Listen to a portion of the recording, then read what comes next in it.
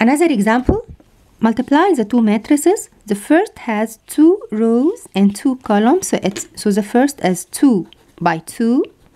The second has two rows and three columns, so it's 2 by 3 matrix. Check. Make sure that the two inside numbers are the same. The order of the new matrix is 2 by 3. So we expect two rows and three columns. Start by the first row here and the first column here to get the first element in the new matrix. So take the first here times the first here plus the second here times the second here and so on. So 2 times 1 to be 2 and minus 3 times 2 to be 6. So 2 minus 6 to be negative 4. To find the second element in the first row, we are in the first row of the first matrix and go to the second column of the second matrix. Take the first here times the first here, then plus the second here times the second here.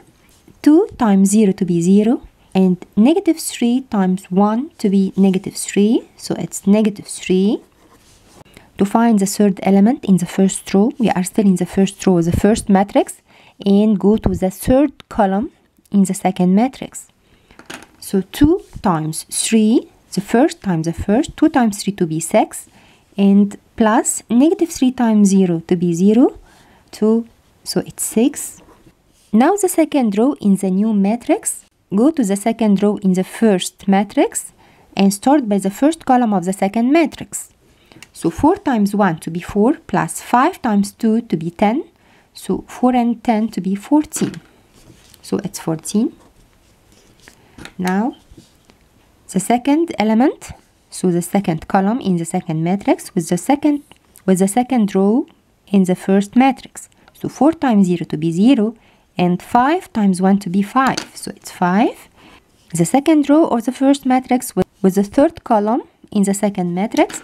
So 4 times 3 to be 12 and 5 times 0 to be 0 so it's 12 the order of the new matrix is 2 by 3 or the two outside numbers so 2 by 3 another example multiply the two matrices. The first has one row and three columns so it's 1 by 3 matrix.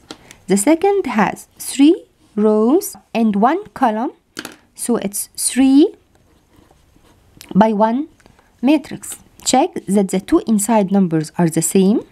The order of the new matrix is 1 by 1 so the new matrix has only one element it's 1 by 1 take the first row with the first column.